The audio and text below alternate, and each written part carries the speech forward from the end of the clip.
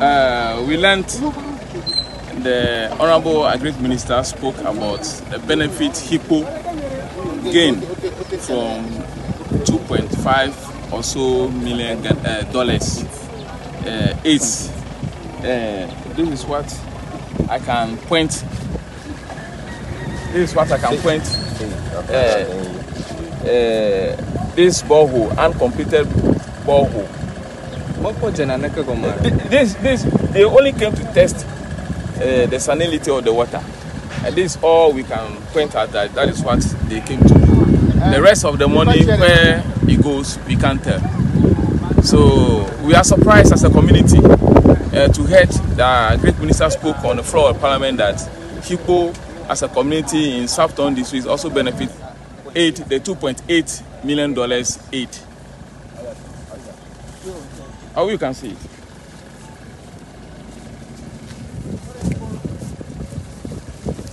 end of uh, the tour of the farms uh, to see for ourselves the extent to which the impact of whatever program the uh, government through the ministry had implemented, which we've all, we've all actually realized uh, to be uh, not the way um, uh, the, the, description went in on the floor of parliament. But um, we've come to the main town.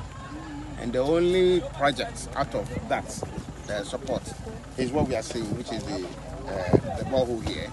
It was sunk, and I'm sure because of the salinity, they've abandoned it because it is too salty or something like that. Even though the location, the original location was supposed to be somewhere at the uh, extreme end there. But my worry is that there was a quotation in the answer of the minister on the floor of parliament that this particular project, they spent almost two point something, there about million dollars. On the average, if you consider 2 million uh, uh, expenditure to improve on vegetable farming in four districts, we will be expecting that each district should be $100,000, which when converted into um, uh, uh, Ghana cedis, we're looking at the today's exchange rate of maybe 8.0 or maybe on the average, which is we all know is conservative. We are looking at 4 million we are looking at 4 million. 4 million Ghana cedis. So on the average, we are expecting some sign of an expenditure to the tune of 4 million in South Tongu, as it were, for the improvement of vegetable farming in the area. But here, this is the only thing, the only project we see. And uh, I, I don't know if this is not a serious short change. If this is not a serious short change. Why? somebody must explain to the people of Xikpo and its environment, those that are involved in vegetable farming. I mean, let us even bring it down from 4 million to say 1 million. I cannot shut up to say that 1 million expenditure of whatever in terms of support for vegetable, vegetable farming, including all that we went to see on the farms, and here in the main town, there's no sign of even an expenditure of a million, a million dollars. And so, what is really going on? Who is really shortchanging the people? It's, it's a serious matter.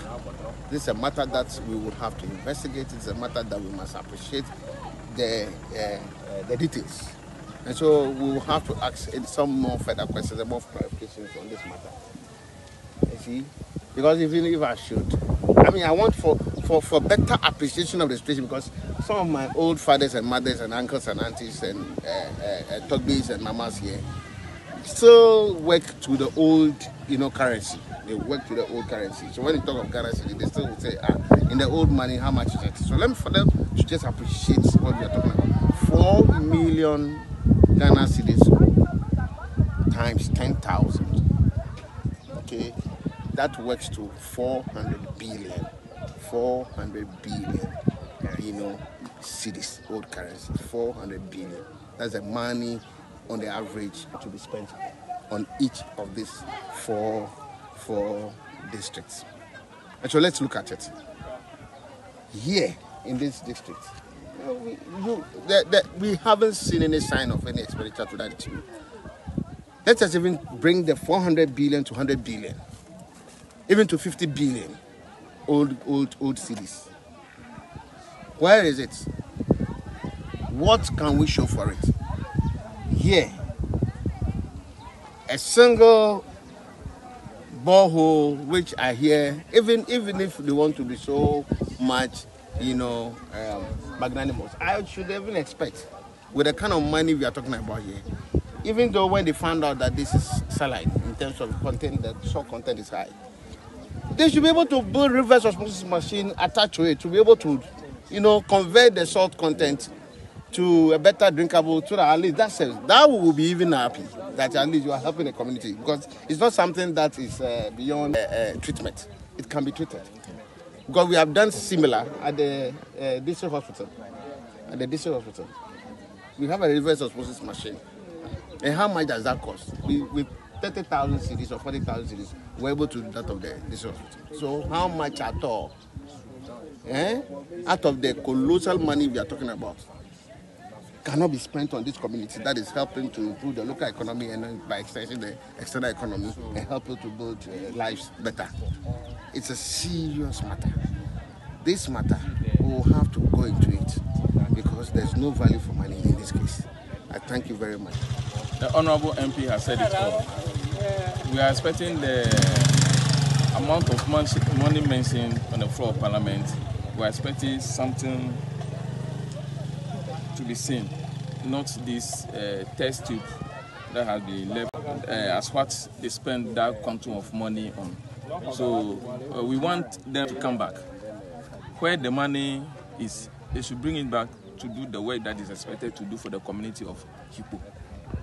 Thank you.